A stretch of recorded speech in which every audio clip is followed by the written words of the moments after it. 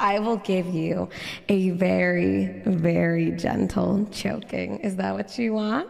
Do you want me to put my thighs around your neck and choke the living daylights out of you till you can't breathe anymore? Is that what you want? Do you want me to just choke the living daylights out of you till you're not ready to breathe? And that all you can breathe in is my disgusting thigh sweat? Is that what you want? Silence, wedge. What's the safe word? Pina colada.